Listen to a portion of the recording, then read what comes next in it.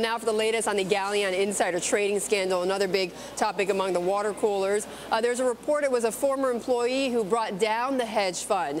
Galleon has been taking on water since Friday when founder Raj Rajaratnam was arrested.